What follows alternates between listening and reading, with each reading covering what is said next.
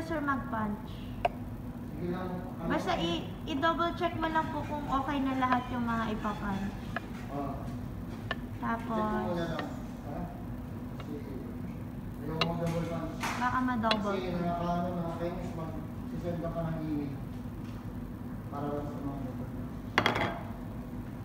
Sa mga voids. Not